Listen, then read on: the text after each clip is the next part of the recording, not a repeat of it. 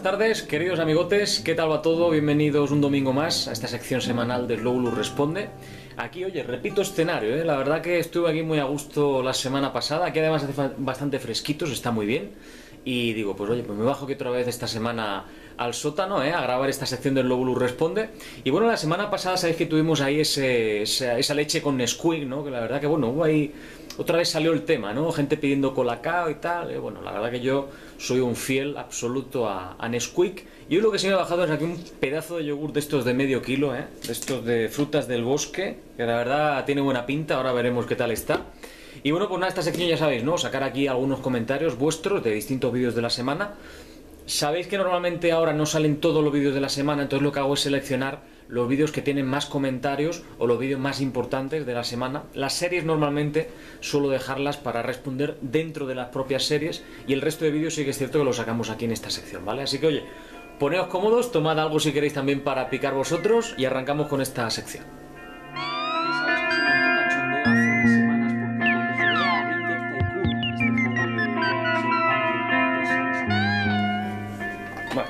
cómo está esto. Vamos a ver cómo está esto.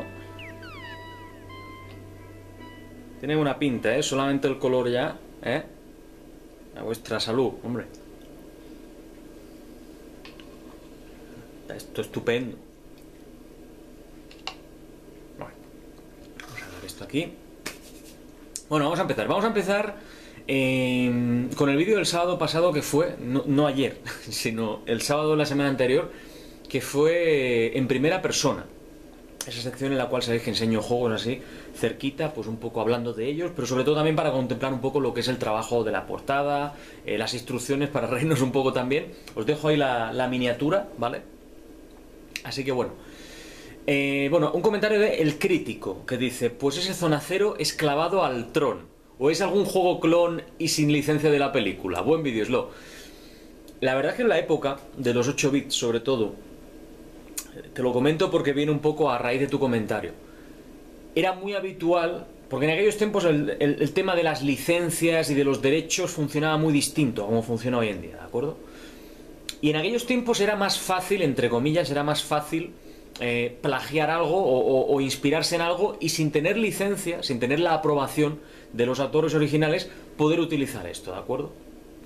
Entonces este caso de Zona Cero, pues es así, ¿no? Me viene también a, la mente un juego que se llama Survivor, que también es de topo precisamente, y que está clarísimamente inspirado en Alien, y no tenía licencia de Alien, ¿vale? Eh, era, era un poco pues esa época mágica, ¿no? En la cual, aunque no hubiese licencias, aunque no hubiese un permiso, igualmente se sacaban los juegos y, bueno, pues la gente se pensaba que era eso, pero no, no, no tenían licencia de ningún tipo, ¿vale? Así que te lo digo para que sepas que los 8 bits, retroinformática de 8 bits, era bastante habitual que ocurriese esto ¿de acuerdo? Bueno, Bolfield. Dice, el Zona Cero es el primer juego de Spectrum que veo que no viene en una cutre caja de cassette. Es una barbaridad que todavía en los 90 salían juegos para el Spectrum.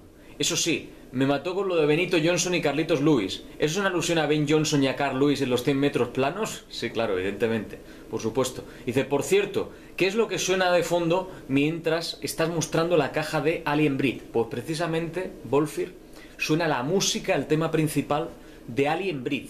La música original de Amiga. Es decir, buscas, si buscas en YouTube, por ejemplo, Alien Breed, eh, tema principal, por ejemplo, Main Theme o algo así, te saldrá y vas a, vas a alucinar, ¿eh? Vas a alucinar con el sonido que tenía el Amiga. Porque era un ordenador que aparte, a ver, en mi opinión el Amiga tenía un catálogo infinito, eso que vaya por delante.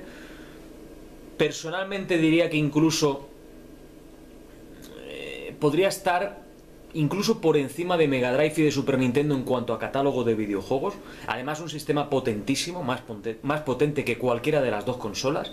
Y sobre todo lo que destacaba mucho y la gente lo recuerda mucho era el chip de sonido de la Amiga. Tenía un sonido absolutamente increíble ese ordenador, ¿de acuerdo? Así que te recomiendo que busques el tema principal de Alien Breed y vas a alucinar por un tubo, ¿eh? te, lo, te, lo, garantizo.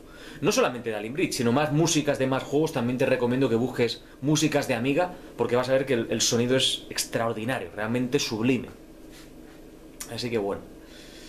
Y sobre todo lo, que me comentas de Spectrum, pues sí, claro, lo más habitual el 98% de juegos de Spectrum se vendían, se comercializaban en cintas de cassette, como las que las cintas de cassette de las gasolineras, de, música y todo eso, ¿no? De Manolo Escobar. Bueno, tú eres de Venezuela, creo, pero que aquí es muy típico eso en las gasolineras que, que haya cintas de música, ¿vale?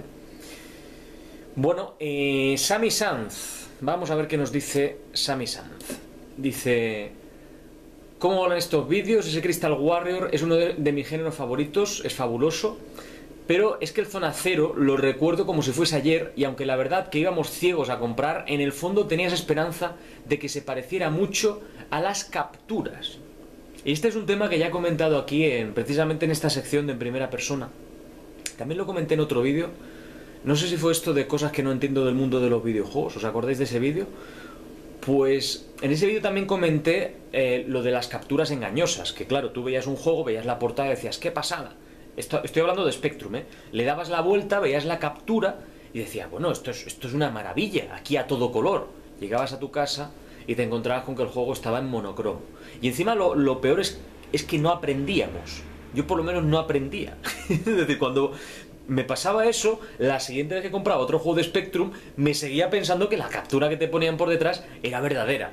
En ese sentido, pues por eso decía yo que íbamos ciegos, ¿no? A comprar. Éramos, pues bueno, gente que iba a lo que iba, ¿no? Y bueno, pues todos hemos pasado por eso, era una época bonita también, la época, pues bueno, que veías todo desde un poco desde la, desde la ignorancia y eso pues también tiene su encanto, ¿no? Y, en el tema de los videojuegos, pues en aquellos tiempos, yo que encima era bastante pequeñito, pues, pues era un gran ignorante, ¿no? Pero bueno, bendita, bendita aquella época. Así que bueno.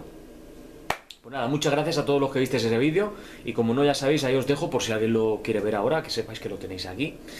Y vamos a ir con la sección de eh, Domingos con Slobulus. Os pido disculpas porque la semana pasada se quedó publicado muy tarde mm, el vídeo de Domingos con Slobulus, ¿vale? Que sabéis que fue ese, vídeo de Mario Kart 64. Con lo cual agradezco muchísimo que he visto que mucha gente ha visto ese vídeo, así que os lo agradezco mucho porque se quedó subido a una hora muy mala. Eh, vi yo luego al día siguiente el gestor de vídeos de YouTube, se había quedado publicado casi a las 3. Casi a las 3 de la madrugada, hora española muy muy tarde. Tardó mucho la subida, no sé qué pasó, pero bueno, tampoco ocupaba tanto el vídeo, ocupaba a lo mejor, no sé, un, giga y medio o algo así, que tampoco es tanto, que me refiero que hay vídeos que ocupan bastante más. Y ese, pues mira, tardó mucho en subirse. entonces, bueno, como a lo mejor hay gente que aún así se lo ha perdido, pues pongo también la miniatura ahí arriba a vuestra izquierda. Partida Mario Kart 64. Yo la verdad que me emociono mucho con este tipo de juegos, lo vivo con mucha intensidad. Y bueno, pues hay algunos comentarios que quiero sacar aquí eh, por ejemplo, eh, Dieguillo Carocho dice: Hola Slobulus, te pregunto, aún sospechando la respuesta, ¿Mario Kart 64 o 64? 64 o Crash Team Racing. Dice, lo personal, cuando era chico, eh, tenía una Play y jugaba muchísimo a este juego. Al Mario lo jugué emulado y ya más grande y me parecían muy duros los controles. En fin, al Crash Team Racing sigo jugándolo todavía con amigos a día de hoy. Bueno, a ver, yo me quedo con Mario Kart 64 por una cuestión de que lo he jugado mucho más. Crash Team Racing es un juego que yo creo que se podría considerar incluso un tapado del catálogo de PlayStation 1 y es un juego que sorprende mucho. Es un juego que, es, como te digo, ¿no? A lo mejor la gente dice, hostia, qué, cosa más rara un juego de Crash de cards, ¿no? Y ahí detrás se esconde un juego magnífico. Le ocurre lo mismo que he visto a alguna gente que lo ha comentado, aunque no tanto, porque Crash Team Racing ha habido una avalancha de comentarios hablando acerca de este juego, pero también quiero decir que Diddy Kong Racing en Nintendo 64 es un pedazo de juego de carreras. Y tanto a Crash Team Racing como a Diddy Kong Racing les ocurre una cosa, tiene una característica común, que es que el modo historia, el modo campaña, es mucho más profundo que Mario Kart 64. Mario Kart 64 es, venga, acción directa, venga, vamos a por ello, vamos directamente al grano. Y Crash Racing no, tiene también su modo historia. Y Diddy Kong Racing también tiene pues, la posibilidad de ir desbloqueando zonas a lo largo del mundo del juego. Y entonces pues también eso le da un cierto toque de exploración y de avance que no tiene, ni muchísimo menos, Mario Kart 64. Son juegos distintos y por tanto me parecen recomendables tanto unos como otros, ¿de acuerdo? Mario Kart 64, Diddy Kong Racing, Crash Team Racing, en fin, me parecen juegos todos ellos muy recomendables, ¿vale? Pero he visto que ha habido mucha gente que ha mencionado lo de Crash Team Racing y me ha sorprendido bastante, he visto que hay muchos fans aquí en el canal, así que seguramente pues algún domingo puedo traer también Crash Team Racing, claro que sí. Bueno, vamos a ver. Eh... Sí, bueno, también aquí de hecho precisamente había un comentario de Voy a poner esto un poquito más grande la letra. Vamos a ver. De Yuji Luigi, que dice... A ver, aquí hace una pregunta. Vale. Dice, en mi opinión, el modo GP de Mario Kart es superior, pero el modo historia de Crash Racing hace que supere en general al juego del fontanero, o al menos eso me parecía a mí, porque habría grandísimas posibilidades, incluidos los minijuegos. En fin, bueno, comenta aquí un poquito más impresiones. Dice, eso sí, en el modo batalla también me quedo con Mario Kart. Tú en esos apartados, ¿con cuál te quedas? Slobulus. Eh, dice, a ver si salgo en el Slobulus responde. Pues mira, ha habido suerte esta semana. No, lo que he comentado, yo creo que... A ver, a mí me gusta más Mario Kart 64 porque, y sobre todo a día de hoy, me costaría quizá más retomar Crash Team Racing porque Mario Kart te echas una partida, te echas unas cuantas copas y ya está, fuera. Y el otro requiere de que le dediques mayor cantidad de horas. En la época, que a lo mejor en la época sí que es cierto que me podría haber decantado más por Crash Team Racing, el juego de moda entre los amigos era Mario Kart 64. Entonces, claro, pues eso al final acaba influyendo. Y ya digo, me parecen además juegos distintos, como tú me bien has dicho y como habéis comentado varios de los que habéis hecho referencia a este tema. Team Racing un juego mucho más profundo, con esa historia, ¿no? Que te mete un poquito más pues dentro del universo, ¿no? Y Mario Kart 64 es más, más desenfadado, ¿no? Jugar y ya está, pasarlo bien, reírse, divertirse, ¿no? En fin, son, yo creo que son enfoques distintos de un mismo género, ¿de acuerdo? Bueno, a ver, Slider27 dice, para el Slowblue responde, ¿cómo grabas los gameplays de las consolas antiguas? Para las modernas no tengo problema. Bueno, a ver, tienes dos opciones, ¿vale? Mm, opción 1, emular. Opción 2, capturar. Hay capturadoras que te permiten capturar metraje antiguo, ¿vale? Yo de hecho tengo una capturadora que me permite tanto grabar eh, componentes como grabar, por ejemplo, eh, RCA, el cable este amarillo, blanco y rojo. Entonces, yo, por ejemplo, en mi caso particular, las consolas clásicas, pues suelo grabarlas precisamente con esa capturadora, ¿vale? Pero también lo puedes emular. Lo que pasa es que el emulador, pues te puede dar a lo mejor más problemas de calidad, ¿no? Porque a lo mejor se pierde un poquito de calidad en la captura o porque a lo mejor se te ralentice. Si no tienes un PC que, tenga un buen procesador, a lo mejor se te ralentiza un poco el sistema, con lo cual tienes caídas de frame rate, en fin, todos esos inconvenientes están ahí, ¿no? Eso ya a gusto del consumidor, ¿de acuerdo? Bueno, vale, pues vamos a pasar ahora al vídeo de eh, Responde. Os voy a poner aquí la miniatura de la semana pasada y hay bastantes comentarios que vamos a sacar bastantes comentarios que vamos a sacar, pero yo antes voy a tomar un poquito de energía, ¿eh? voy a tomar aquí unas cucharadas, ¿eh? frutas del bosque, ¿eh? esto la verdad que... esto está de puta madre, esto está estupendo.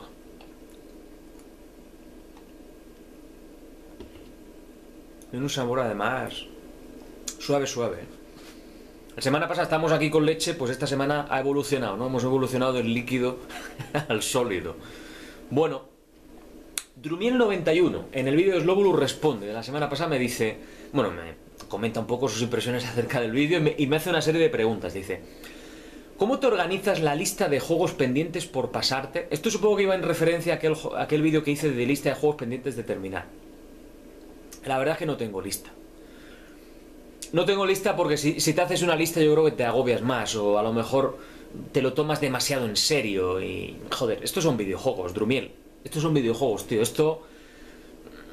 Si te agobia, vas por mal camino. Es decir, esto, esto lo tienes que tomar como... Voy a ir jugando. ¿Me apetece jugar a esto? Juego a esto. ¿Me apetece jugar al otro? Jugar al otro. Fíjate, yo mismamente, te pongo un ejemplo. Yo ha habido ahí una época de 3 o 4 semanas, y no es la primera vez que me ocurre, que System Shock 2 no me apetecía mucho jugarlo. Yo qué sé, tío, que, que sí, que sabes que la serie está en marcha y quieres terminarlo, pero entre que no encuentras todo el tiempo que te gustaría y que aunque tengas el tiempo te apetece despejarte con otra cosa, pues lo dejas en pausa. ¿Vale? Por ejemplo, con Chrono Trigger no me está pasando. Con Chrono Trigger, joder, es que estoy deseando cada semana de grabar el capítulo de Chrono Trigger. Entonces, bueno, va un poco en función a lo mejor de lo que te apetezca en ese momento. Hay cosas que están pendientes de terminar y a lo mejor por lo que sea las dejas aparcadas, ¿vale? Fíjate, me haces una pregunta segunda, me dices, ¿completas todos los RPGs a los que juegas? No. No. Hay RPGs que lo juegas 10, 15, 20 horas o, incluso menos y a lo mejor por lo que sea no te engancha el sistema de combate o la historia no te resulta muy atractiva. Luego hay otros que, que desde que los coges te los fundes. Por ejemplo, uno que me acuerdo especialmente que lo cogí y lo fundí fue Eternal Sonata. un juego muy bonito, un juego de rol eh, que, bueno, cuenta un poco, lo he comentado en alguna ocasión más, pero cuenta las horas finales de vida de Chopin, pero con una estética anime. Entonces, bueno, pues un pedazo de juego. Nino Kuni, con todo lo que me gustó en su salida, en su inicio, lo jugué tal, pues me lo dejé cuando iba por las 25 o 30 horas de juego, lo dejé en mitad y se quedó aparcado muchísimos meses y luego lo retomé y lo terminé. Pero es un ejemplo de que tiene que ser un poco lo que el cuerpo te pida. Si el cuerpo te pide algo, juega eso. Da igual. Yo sé que tú también tienes un canal, ¿vale? Supongo que por eso me estás preguntando. Joder, si una semana por lo que sea te tienes que dejar de lado dos vídeos que tenías previstos porque te apetece jugar a algo, hazlo. Si esto si ya lo he dicho en alguna ocasión, estos son videojuegos en YouTube. Si, esto no es ninguna gran cosa. Si esto. Por eso te digo que si te lo tomas demasiado en serio, mal camino. Esto te lo tienes que tomar como relax, 100% relax, 100% diversión, 100% pasártelo chachi. Porque de esa manera también conseguirás seguramente que la gente se lo pase genial, ¿no? Yo, fijaos, pues yo, mira, ahora estoy aquí, estoy grabando esto a la hora de la siesta, ¿vale? Aquí en el sótano, ¿vale? Sábado por la tarde. Coño, pues yo podría coger, haberme comido el yogur arriba en el salón pero digo, va, pues, me bajo el yogur y me lo como aquí con la gente. ¿Por qué? Pues porque no tengo problema, porque estoy relajado, estoy tranquilo, estoy aquí pues pasándomelo bien. Pues me, como el, yogur aquí con, vosotros. Oye, pues un poco ese es el enfoque, ¿no? Y por último, dice, ¿cuántas horas diarias le dedicas a los vicios? Pues la verdad que no lo sé tampoco, no, no, no, contabilizo, también depende mucho. Por ejemplo, mira, el fin de semana, que tengo más tiempo, pues el fin de semana suelo jugar más. Y entre semana, pues a lo mejor sobre todo, sobre todo, después de cenar, ¿vale? Me suelo acostar bastante pronto, ¿vale? Me duermo bastante temprano. Pero a lo mejor en el ratillo ese desde después de cenar hasta que me entra ya el sueño, que ya se me caen los ojos del sueño, pues entonces ahí en ese rato aprovecho y juego, ¿vale? Juego un ratillo y, me lo paso bien y tal. Pero el número de horas no sabría decirte. Además, esto va por semanas. Hay semanas que juegas mucho más, otras que juegas mucho menos. A lo mejor hay algún lanzamiento esa semana que te ha enganchado especialmente y le pegas muchísima caña. Y otra semana, pues no te gusta tanto lo que hay y juegas menos, ¿no? Entonces, bueno, esto va un poco en función siempre de lo que te pida el cuerpo, ¿vale? Venga, pues un abrazo ahí para, para Drumiel 91, claro que sí. Bueno, vamos a ver. Vamos a ver. Loxa96. Slow, ¿podría subir algún vídeo dedicado a juegos de carreras macabros de PlayStation 1 como Twisted Metal o Carmageddon?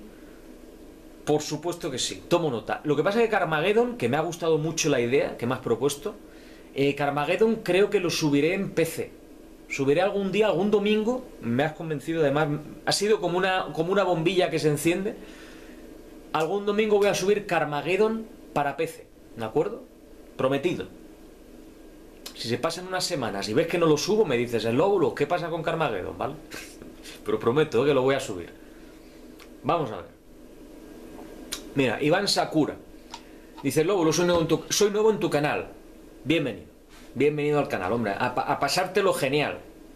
Y bueno, me comenta aquí un poco impresiones y tal. Bueno, y me, hace una pregunta. Dice una pregunta, si me la pudieras contestar, me harías muy feliz. Dice, ¿cuál es el orden de los PC Estoy un poco perdido en ellos. Gracias por la atención. Entiendo que te refieres con PC, porque más arriba me dices consolas de PC. Entiendo que te estás refiriendo a los sistemas de retroinformática, ¿vale? Eso no, son PC, son ordenadores personales. Entonces, te voy a orientar un poco, ¿vale? Mira, sobre todo hay dos generaciones principales en los ordenadores personales. Están los de 8 bits y los de 16 bits. En 8 bits salieron muchísimos, pero muchísimos muchos, muchos, muchos modelos de distintas compañías, ¿vale? Pero a grandes rasgos con los que te tienes que quedar, si te apetece meterte un poco en el mundillo este de la retroinformática, que es un mundo infinito, hay una cantidad de juegos que no te la vas a terminar jamás. Los sistemas a los que tienes que echarle un ojo es Spectrum, ¿de acuerdo? Amstrad CPC, Commodore 64 y por último MSX. Esos cuatro sistemas son los más importantes de la época de los 8 bits. Y cada uno de ellos pues tiene sus características. Se supone que el más limitado técnicamente es el Spectrum, pero a cambio tiene muchos juegos que, que además hubo muchos juegos españoles en Spectrum, pero tiene un catálogo tremendo. Luego está el Amstrad CPC, que sería más potente que el Spectrum, ya tiene color, eh, es la diferencia principal que tiene. Bueno, aparte de otras historias, por supuesto, porque además cada uno de estos sistemas tiene distintas versiones. El Spectrum pues tenía el, bueno, el de 48K, el Plus, el 128K, el más 2, más 2A, el más 3 que era con disquete y el Amstrad tiene pues también un montón de modelos distintos, ¿de acuerdo? Pero bueno, a grandes rasgos el Amstrad es superior técnicamente al Spectrum. Luego está el Commodore 64 que utilizaba, tenía un procesador muy inferior, por ejemplo, el procesador del Spectrum era a 3, ¿cuánto era? 3,60 y... hostia, no me acuerdo del pico. 3 y medio. Sería 3 y medio, sí. 3 MHz y medio.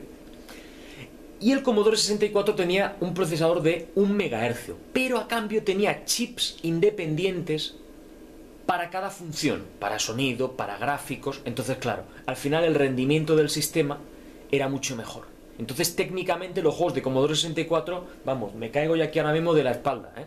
Me caigo de espaldas. Aquí ahora comparando unos con otros. Es que en la época, en la época, que lo he comentado en alguna ocasión, el primer sistema al que yo jugué fue un Commodore 64. En casa de mi tío, que tenía un Commodore 64. Yo el primer sistema que tuve fue el Spectrum, pero los primeros juegos que jugué, la primera vez que jugué a un videojuego, que me senté en una silla a jugar a un videojuego, fue en casa de mi tío a un Commodore 64. Y aquello era increíble totalmente totalmente increíble. Entonces, era un sistema que también yo te recomiendo muchísimo que al Commodore 64 le dediques un tiempo a investigar, a descubrir juegos, porque hay cosas que te van a sorprender mucho. Y por último, MSX, que lo más destacado de MSX son los cartuchos que hicieron compañías como por ejemplo Konami, como por ejemplo HAL, como Taito, compañías que hicieron juegos para el MSX, pero juegazos, ¿eh? De hecho, Hideo Kojima, el primer Metal Gear, seguro que conocen Metal Gear, el primer Metal Gear fue exclusivo para MSX, luego también salió para la NES, pero en MSX, eh, dentro de lo que es el universo de la retroinformática, fue exclusivo, ¿vale? No salió en ninguno de los, otros sistemas que te acabo de comentar. Y luego en 16 bits tienes dos ordenadores principales, hubo ya mucho menos sistemas en 16 bits, está el Atari ST y el todopoderoso Commodore Amiga, que también tuvieron tanto uno como otro, tuvieron muchísimos modelos y el Commodore Amiga es un sistema muy muy especial, con una cantidad de juegazos increíble, infinita, con cosas que no encontraría jamás en videoconsolas, importante eso, con aventuras gráficas incluso, y bueno, pues el Commodore Amiga yo te recomiendo que también le dediques un buen tiempo a investigar el catálogo de juegos porque hay cosas que merecen muchísimo la pena, ¿vale? Cualquiera de los seis sistemas que te he dicho, 4 de 8 bits, 2 de 16 bits, dedícale tiempo a, jugarlos porque no te vas a arrepentir lo más mínimo, ¿vale? Venga. Un abrazo para Iván. Bueno, eh, Cancerbero 40 dice: Slobulus, últimamente a qué juegas más? ¿Al PC o a las consolas? Gran pregunta esa, ¿eh? Dice: Creo que desde que te montaste la nueva torre le estás dando un gran uso con Steam. Un saludo. Pues tienes mucha razón. Eres Eres muy observador, ¿eh? Es cierto que últimamente al, PC le estoy, le estoy dando bastante caña. No le daba tanta caña al PC desde los tiempos, vamos a decir quizá principios del siglo XXI, ¿vale? Es decir, eh, pues todos los años esto de 2001, 2002, el inicio de la generación en consolas de 128 bits, porque ahí salieron juegos como por ejemplo Neverwinter Nights, que lo he comentado aquí no hace mucho en, en el canal, fue toda la recta final de los 90 con juegos como por ejemplo StarCraft, Quake 2, Unreal Tournament, Age of Empires 2. En aquella época la verdad que al PC jugaba más que a cualquier consola casi, ¿eh? más que a la Play 1, más que a la Nintendo 64. Y luego, em, es cierto que, desde que me monté el, PC este en verano, que es un procesador potente, alguien preguntaba un poquito las especificaciones, bueno, es un i7, ¿de acuerdo? de 8 núcleos y bueno, pues es un procesador potente que me permite sobre todo pues ir con bastante comodidad a la hora de renderizar vídeos, ¿no? Que, cuando me lo compré pues precisamente ya iba pensando en eso, ¿de acuerdo? Y luego la tarjeta gráfica no es gran, gran cosa, es una GTX 650, eh, las hay mucho mejores a día de hoy, pero bueno, para ir jugando y tal está perfectamente, ¿vale? Además es un modelo de la GTX 650 que está muy bien, ¿vale? Se llama TI Boost, que es un poquito mejor en prestaciones que el que no lleva eso. Entonces, bueno, pues la verdad que el PC tira muy muy bien.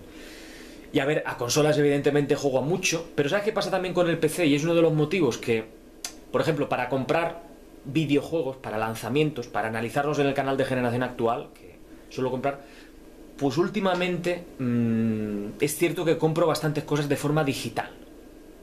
que no es lo mismo que tenerlo en formato físico, pero es que la diferencia de precio es muy, muy notable. Es muy notable la diferencia de precio. Entonces, muchas veces a lo mejor te compras la versión de consola, pero ya la vendes y dices, mira, me compro la de PC, aunque sea en formato digital, porque es que encima recupero dinero y todo, ¿vale? Entonces, un poco ese es el, ese es el tema, ¿vale? Ese es el tema. Y la verdad que sí, que el PC estoy contentísimo con él, ¿eh? muy, muy contento. Así que bueno, un abrazo para Cancerbero. Chrysler. Chrysler hace aquí un comentario interesantísimo. Y lo voy a sacar. Lo voy a leer íntegro. A ver, ahí está. A ver que lo pongo aquí centradito. Voy a tomar un poco de aire.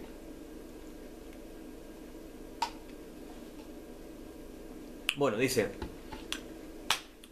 Slobulus, como siempre, buen vídeo. En cuanto al tema de las consolas retro, atención, dice, yo creo que tanto la Xbox 360 como la PlayStation 3 van a ser unas consolas retro muy tristes. Me explico.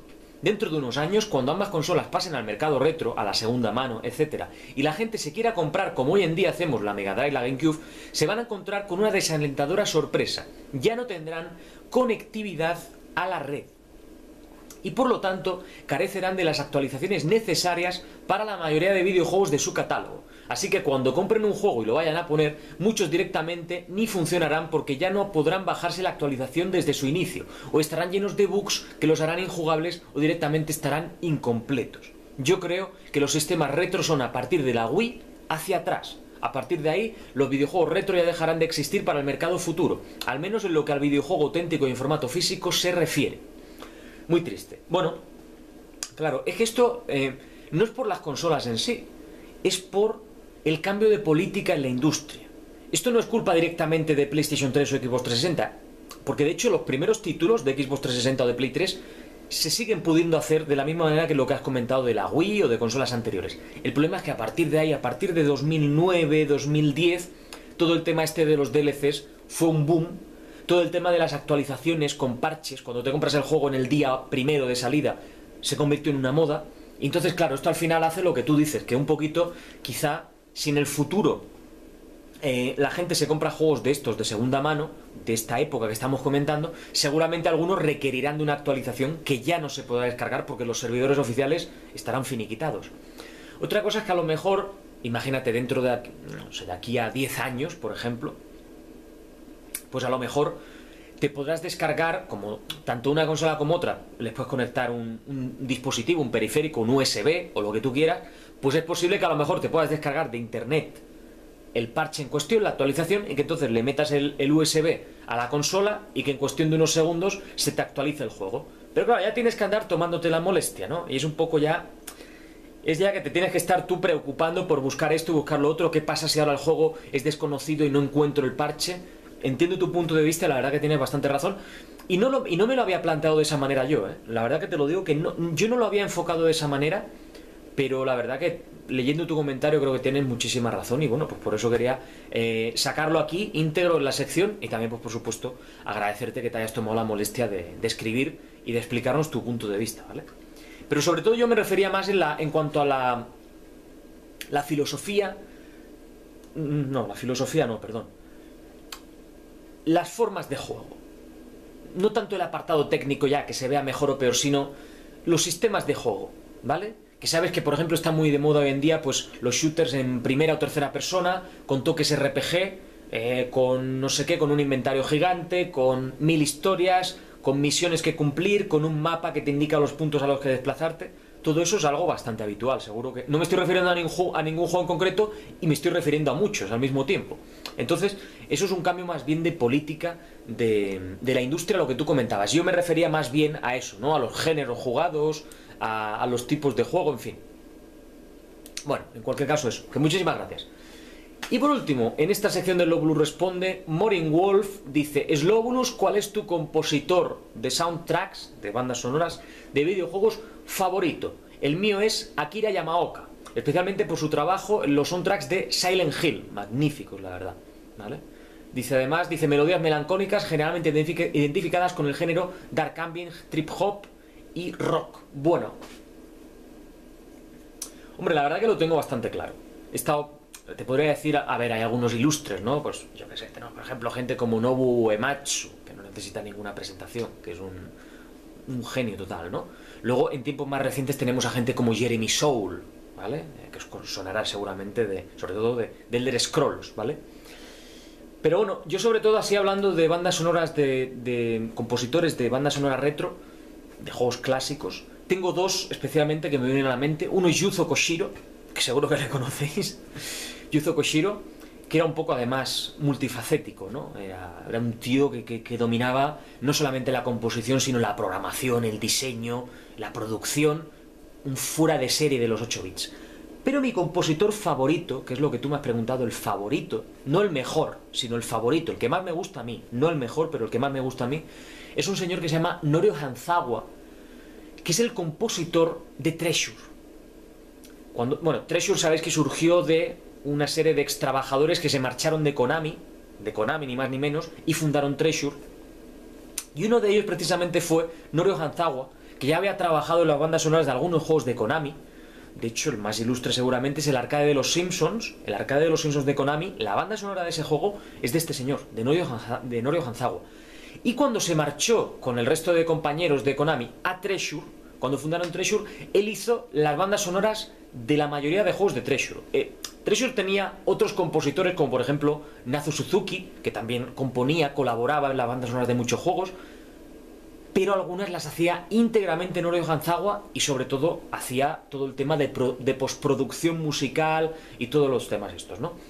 Por ejemplo, pues Gunstar Heroes, Guardian Heroes, Bangayo, eh, o sea, toda la pesca, Dynamite Heady, aunque en ese participaron más personas, pero todos esos juegos, bandas sonoras de Norio Hanzawa. Mi favorita, Gunstar Heroes. De las de Norio Hanzawa, mi favorita, Gunstar Heroes. También me gusta mucho la de Alien Soldier, pero bueno, son, que son bandas sonoras inolvidables, legendarias, ¿de acuerdo? Así que, Norio Hanzawa.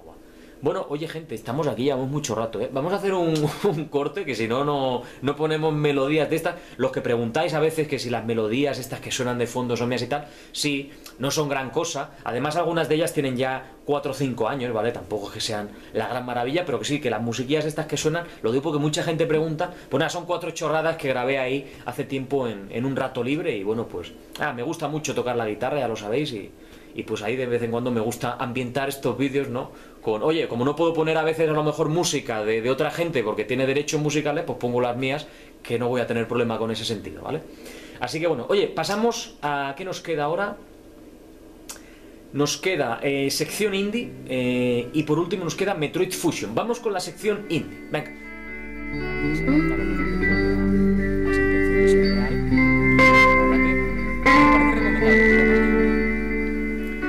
Vamos allá, vamos con esta sección ahora indie, esta sección de todos los martes. Os dejo ahí la miniatura de War Thunder, que es este juego de aviones que os traje el martes en la sección indie. Juego gratuito, lo recuerdo, ¿eh? Juego gratuito. O sea que por lo menos darle una oportunidad porque ya a lo mejor os, os gusta bastante, ¿vale? A mí por lo menos pues es un juego que me resulta, ya lo comenté en el análisis, me resulta entretenido, ¿no? Me resulta me resulta interesante porque tampoco te requiere una gran cantidad de, de, horas. Que quieres jugarlo un día mucho, lo juegas, pero no te exige esa regularidad, ¿no? Lo puedes dejar abandonado si quieres dos semanas y luego retomarlo, que no hay ningún tipo de problema, ¿vale? Bueno, Kurubit dice: El juego me ha recordado mucho al Flying Corps Gold. Supongo que lo conocerás, pero si no es el caso, te lo recomiendo. Pues la verdad es que no lo conozco. Y dice, aprovechando esta sección, me gustaría preguntarte qué opinas del gran, aunque lleno de morralla, mundo de los juegos Flash. ¿Conoces algún juego de este tipo y o creado con programas como el RPG Maker que merezca la pena? La verdad que no estoy nada, nada, nada metido en el mundo de los juegos Flash. No estoy pero nada, ¿eh? O sea, no estoy, no, no conozco prácticamente nada. Sí recuerdo un juego que me enganchó de una manera enfermiza casi, era una tontería, pero seguro que habéis jugado todos al juego del helicóptero. ¿Eh? Y si no, buscáis en Google, en Google Helicopter Game o juego del helicóptero y me contáis. ¿eh? La semana que viene me lo contáis. Increíble, lo de ese juego increíble. Y la verdad que a ese juego le dediqué, vamos, una chorrada como una casa, a ver, a ver cómo de lejos llegas con un helicóptero sorteando obstáculos y le dediqué una cantidad de horas. Menuda pérdida de tiempo. ¿eh? Madre mía, tío. Increíble. Y bueno, con el RPG Maker, pues de hecho en la sección indie hace tiempo tuvimos, hace cuánto puedo hacer, tres meses o algo así, el análisis de un juego que se llama To The Moon, que está hecho con el RPG Maker, que es un juego precioso, es un juego muy bonito, con unos gráficos además que llaman la atención, un poco al estilo de los juegos de rol de los 16 bits. Este no es un juego de rol, pero recuerda aquella estética, y la verdad que To The Moon, ese se hizo con RPG Maker ese juego, ¿eh? Muy fuerte, la verdad. Bueno, vamos a ver.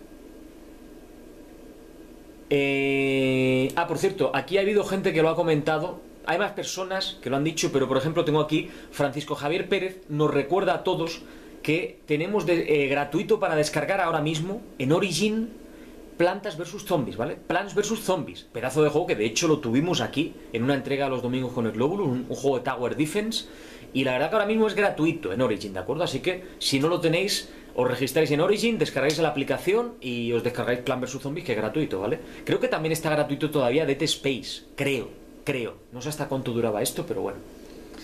Pues gracias a Francisco por el apunte y también lo dicho, había más gente que había comentado esto, pero no he encontrado los comentarios en cuestión, ¿vale? Miguel Caos dice, a mí me gustan demasiado los juegos de naves. Dice, cambiando de tema, tengo una pregunta para el Lobulus Responde. ¿Qué piensas, señor Lobulus, de que vendan la Xbox One más barata y sin el trasto inútil del Kinect? ¿No sientes que te la metieron doblada por decidirte por la consola de Microsoft? Por eso siempre hay que esperarse mínimo un año para tomar esas decisiones y más si se trata de esta empresa tan abusiva, ¿no? Bueno, esto, a ver, hombre, esto es como todo. A ver, yo, yo no me lo llevo tanto al extremo, aunque entiendo que puede haber gente bastante molesta, eso lo tengo clarísimo. Yo en mi caso, pues no estoy molesto. Yo me la compré de salida porque quería jugarla de salida, y yo sé que cuando hay cosas que quieres un poco pagar la novedad, pues tienes que pasar por el aro. Y a lo mejor si te esperas dos meses, te vale la mitad de precio. Pero bueno, como yo en ese momento, pues me apetecía, quería jugar de salida, y sobre todo los juegos que había de salida con, con la Xbox One, pues me atraían más que los que salían con la PlayStation 4, pues por eso me compré. A mí realmente es que me da igual que la compañía sea Microsoft, Sony, Mercadona, Nintendo o Conguitos. O sea, a mí me da igual que saque ahora mismo la marca Conguitos, saque o, la marca Danone o la marca Hacendado, saque una videoconsola. Si, si sacan una videoconsola y traen juegazos, yo me la voy a comprar. Y me, y me, va a dar exactamente igual a qué compañía pertenezca esa videoconsola. Entonces, yo en ese sentido, con el tema de las compañías no tengo mucho problema. Lo digo por eso que decías que es una empresa abusiva, que hay que esperarse y tal. Bueno, yo es que no, lo tengo en cuenta. Directamente esas cosas no las tengo en cuenta, ¿vale? Y luego, sobre la pregunta en cuestión que me haces, sobre el Kinect.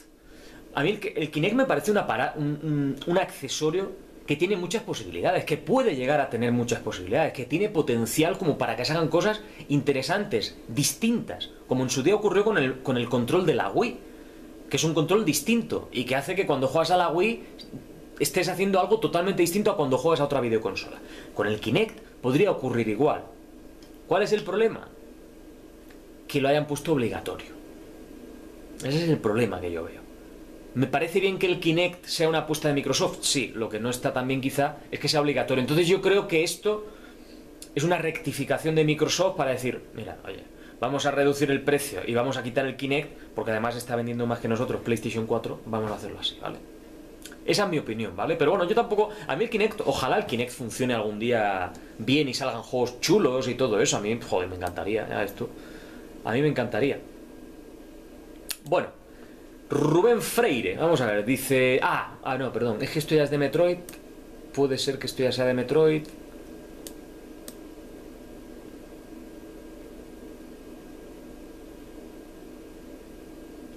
Creo que sí.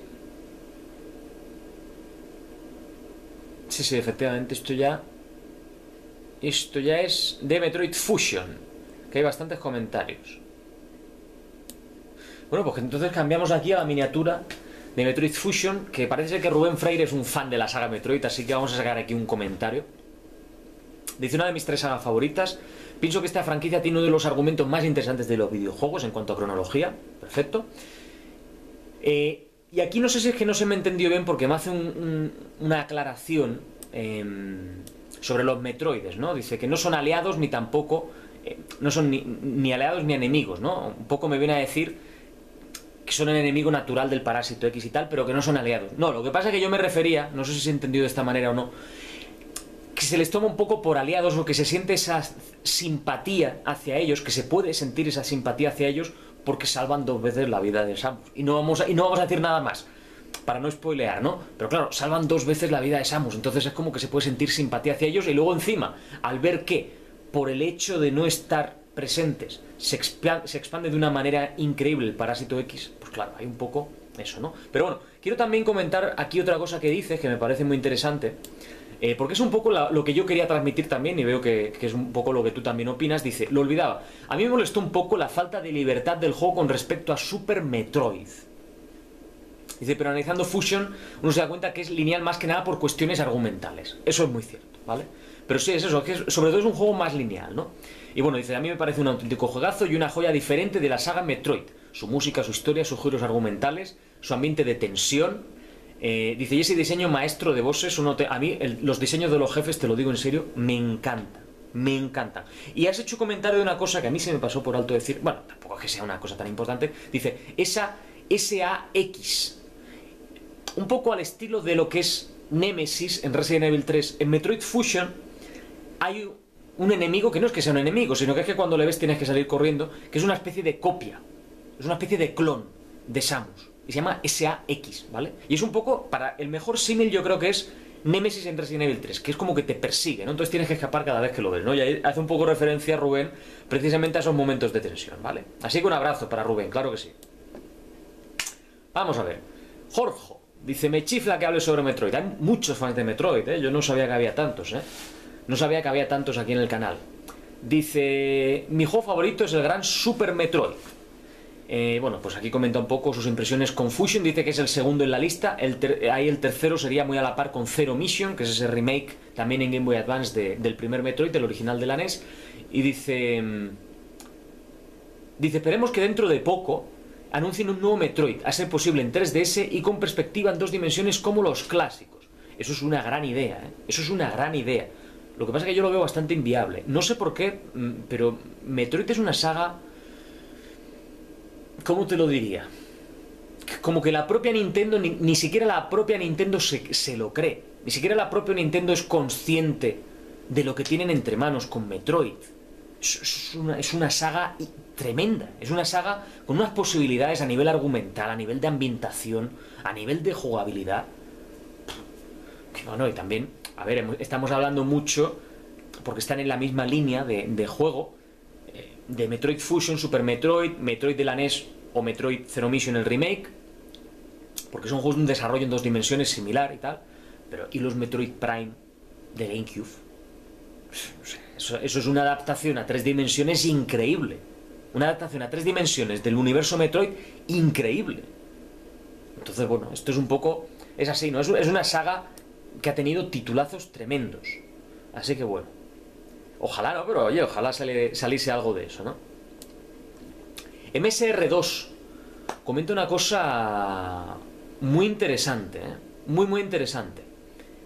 Este chico hace a veces comentarios así, haciendo recomendaciones que la verdad que merecen mucho la pena. Dice, qué gran alegría por ver, eh, al fin un vídeo de la saga Metroid.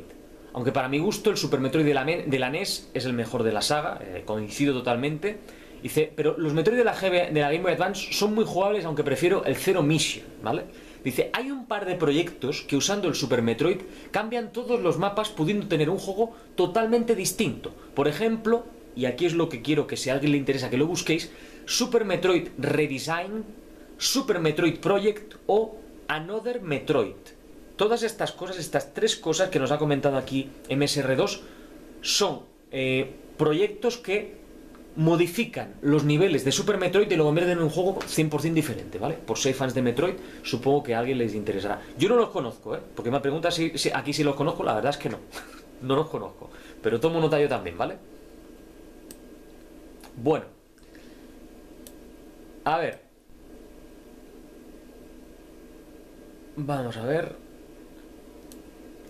Bueno, aquí hay un comentario breve de Juanjo López que dice, me ha gustado mucho el vídeo pero me gustaría hacerte una pregunta. ¿Por qué pones tan poco gameplay? Nunca lo entendí. Bueno, yo, a ver, yo, yo creo que en esto de YouTube pues cada uno tiene su manera de, hacer los vídeos, ¿vale?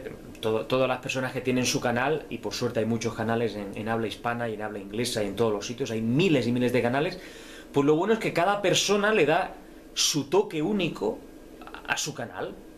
Entonces yo, yo por ejemplo, me gusta centrarme más en lo que digo, me gusta centrarme en lo que digo. De hecho, esta sección no tiene imágenes de nada. Y aún así la gente, pues, suele verla, participa, ¿eh? comenta. Yo soy mucho de, hablar. A mí me gusta hablar de, estos temas, me gusta comentar mis impresiones y, bueno, y yo sobre todo las imágenes, porque también ha habido muchas veces que he pensado, joder, pues podría hacer directamente los vídeos sin ni siquiera poner imágenes. Y total, voy a decir lo mismo. Lo que pasa es que las imágenes, aunque sean poquitas, me gusta ponerlas para que por lo menos la gente se haga una idea de cómo se ven los juegos. ¿Vale? Para que sepan cómo son los juegos. Pero yo prefiero, fíjate lo que te digo, te pongo un, ejemplo. Prefiero que si un vídeo dura 20 minutos, estar 17 hablando y 3 poniendo imágenes del juego, que poner 17 imágenes del juego y 3 hablando. Y seguramente puede haber muchos canales que digan, no, no, pues yo prefiero hacerlo al revés. Pero ahí está un poco el encanto, ¿no? Yo tengo esa manera de hacer las cosas, además, la gente que lleva mucho tiempo por aquí sabe que siempre ha sido así. Yo siempre he puesto un porcentaje no demasiado grande de los vídeos eh, con lo que son capturas de los juegos y a mí me gusta pues sobre todo hablar hablar, dar opiniones y comentar por lo que pienso acerca de ellos y eso sí, poner un poquito imágenes para que no tengáis que ir luego encima a buscar a ver cómo son estos juegos, cómo se ven, cómo se mueven, por lo menos pongo yo imágenes para un poco ahorrar esa molestia, ¿no? Y para que quede el vídeo pues un poco más interesante, ¿no?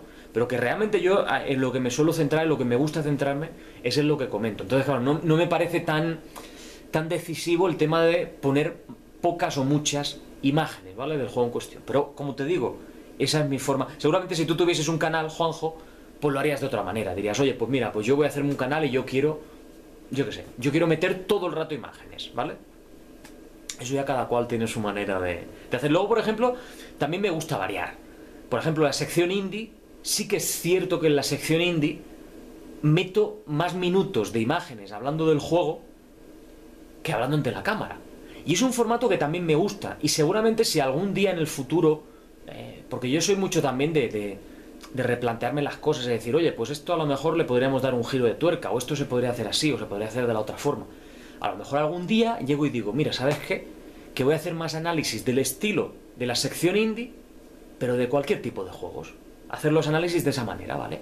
Porque es una manera distinta de, enfocar el tema, yo creo, y yo qué sé, me, me, me gusta así también, ¿no? Me lo paso bien de las dos maneras, pero bueno. En fin, lo dicho, es cada uno pues tiene su manera de, llevarlo, ¿no? Y por último, un comentario que quiero sacar de Farión. Dice, hola Slo, primero decirte que, bueno, esto no lo voy a leer, dice que le gusta mucho el canal. Dice, te comento hoy porque has hablado de un juego que marcó mi infancia, Metroid Fusion. Vamos a ver lo que nos tiene que contar. Dice, que es para mí uno de los mejores juegos del catálogo de Game Boy Advance. Y eso es mucho decir, ¿eh? porque Game Boy Advance tiene un catálogo tremendísimo. Dice, lo recuerdo muchísimo porque también fue el primer juego que me regalaron mis padres sin que yo les dijese cuál quería y para mí fue un tiro en el medio de la diana. la verdad que, oye, eso siempre tal. Eso está muy bien. Dice, ¿qué opinión, esta es la pregunta, te merecen las heroínas como protagonistas? Te pregunto esto porque recuerdo que el día que descubrí que Samus era una mujer y no un hombre, me impactó y en realidad al principio le cogí un poco de rencor, pero luego como todos me enamoré de ella. Qué bonito, ¿eh? qué bonito se enamoró de Samus Aran. Bueno, mm, yo creo que al inicio, cuando hablo del inicio me refiero a hace 30 años, hace, pues sí, pues cuando salió el primer Metroid, que es del año 86, puede ser 86 o 87, por ahí, por ahí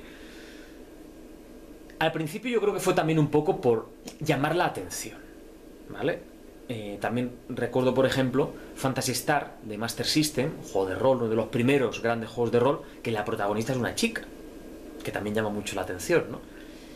Y entonces yo creo que en, en muchos casos esto era para llamar la atención, ¿no? Para decir, oye, todo el mundo está haciendo los juegos con protagonistas masculinos, vamos a desmarcarnos del resto y vamos a hacer un juego con protagonista femenina.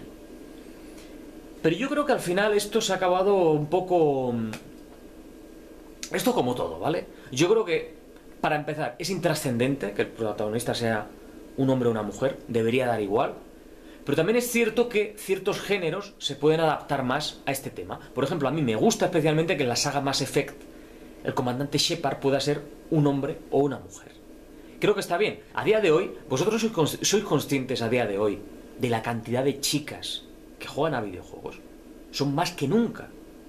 Y, no nos superan, pero igual estamos igualados totalmente. Es que hoy, en día ya no hay diferencias en el tema de los videojuegos. Entonces, claro, me gusta y me parece bien y creo que es comprensible que se metan también heroínas en los videojuegos. ¿Que ¿Qué opinión me merecen? Pues sobre todo eso me, pues me parece perfecto, me parece igual de perfecto que cuando es un hombre. Sí que es cierto que hace 30 años era impactante.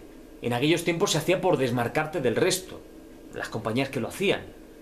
Pero a día de hoy yo creo que ya eso está totalmente ya asimilado y no hay ningún tipo de, problema, ¿vale? De hecho, pues muchas chicas ven, o sea, les gustan los videojuegos y tienen que ver vídeos también de este canal, porque yo puedo consultar las estadísticas de gestor de, en, el, en el YouTube, ¿cómo se llama esto? YouTube Analytics, que es ahí como una estadística, y hay un porcentaje de, visiones femeninas en el canal que seguramente es más alto que los comentarios que veis, ¿vale? Lo que pasa es que ellas están ahí pues en la sombra, ven los vídeos, se divierten, y con los videojuegos les pasa un poco igual, creo yo, a las chicas. Ellas lo llevan más a lo suyo, ¿no? pero hay muchas chicas que juegan a videojuegos, ¿eh? y, y, y, bien que hacen, ¿eh? Bien que hacen, porque hay que jugar siempre y pasárselo muy bien. Así que bueno, pues eso. Eh, nada, pues vamos a mandar aquí unas, una ronda de saludos, si os parece bien. Voy a tomar aquí otra cucharadita, ¿eh? Para ponerme grande, ¿no? Claro que sí. A ponerme grande. Hay otro que está de puta madre, que es de maracuyá y melocotón. También lo he probado y... Uf, fantástico. Bueno, saludos. Pues mira, vamos un saludete a... Eh, vamos a ver, espérate, voy a poner la letra más grande que si no... Ahí está. Perfecto. Pues un saludo para Rafita18, Draz, Cancerbero40, Mekins, Juan Lozano, Itzar MZDZ, Jordi MK1, Horacio Valverde, Alex García, Iker Aguirre, Claudito Rafa Garance, Brian Piedra, Mr. Turk 1979, Enrique Montilla Norega, Jo Franceta, eh, Valar Morguria, Eugenio Jiménez, Charlie X80, Sergio Carrillo López, Gómez 21, Manguras, Antonio Ran, Paco Goul, Nodu Alik, Manuel de Santis, José Vidal, y también a gente que participa habitualmente en Twitter. En este caso, un saludo, un abrazo muy grande para Lilith Tiger, Gandalf Jugón, José Antonio Battlefield, RG Kim, Pedro Serrano, Drone78, Javiño, Hacho Plaza, Empajadores, Moy PCR, Alex Gibson, Diego ZT, Rubén Vera, Rafuki21 y Eduardo Carpanetti. Y un abrazo muy grande para todos los que no he mencionado, para todos aquellos que no he sacado ningún comentario y que lo habían escrito. Muchísimas gracias, un abrazo muy grande.